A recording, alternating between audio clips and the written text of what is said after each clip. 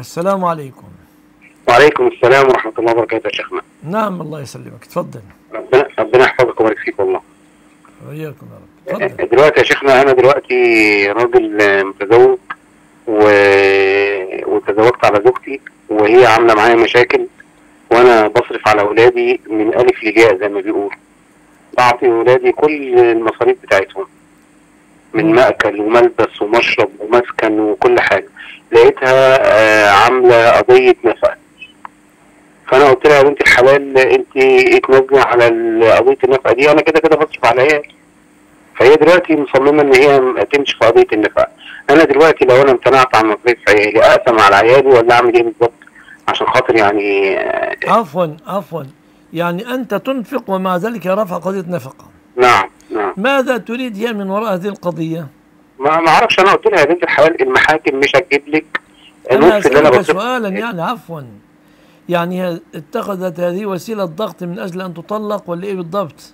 لا هي كانت رافعة قضيه خلع ورجعت آه، أول جلسة ما راحتهاش وقالت أنا مش هعمل خلع. طب أنت زي ما اتنزلت على الخلع ما تتنزل على ال- على النفقه ديت لأن أنا أصلا بصرف على الأولاد. الكلام ده لو أنا ما بصرفش على الأولاد. يعني أنا حتى قلت لها المحكمة مش هتجيب لك مصاريف آه، نوادي ليكي وللعيال مش هتجيب لك مصاريف آه، هل وق- وقع عليها ضرر بسبب زواجك؟ نعم هل وقع عليها ضرر بسبب زواجك؟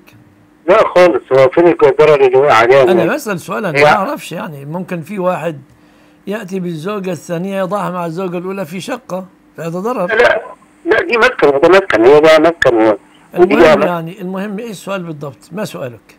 السؤال دلوقتي أنا لو امتنعت عن أولادي في موضوع.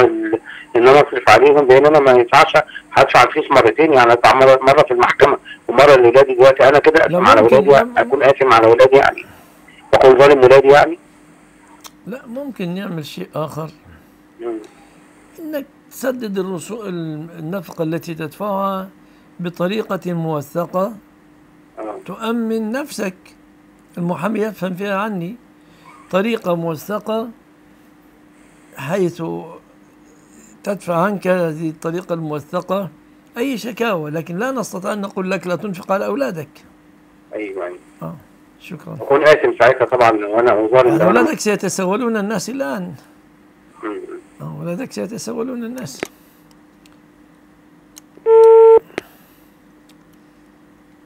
خالد مرجان عافاك الله. مشكلة في الآن قضايا وضعتها الدولة وضعتها إم- امرأة سابقة كان لها شأن في الدولة. قضية اسمها الطلاق للنفور. الطلاق للنفور. غريب هذه القضية. الطلاق للنفور. طيب ما كان اسمها الخلع. كان سموها الطلاق للنفور. ترجع دي إلى تقدير القاضي يعني. مش عارف الطلاق للنفور دي جاية منين؟ ما هي كانت فاطمة عفوا امرأة ثابت بن قيس نافرة من زوجها واختلعت.